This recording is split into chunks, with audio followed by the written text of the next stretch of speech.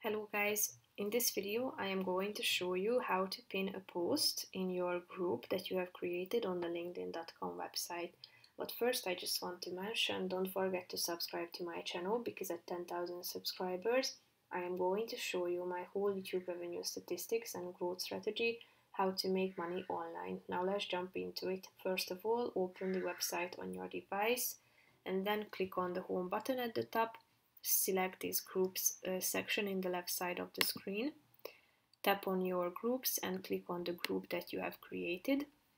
Scroll down and here you can see your posts. So if you would like to pin a particular post, tap on this pin this post button and it will appear at the top of your um, of your feed. So click on pin.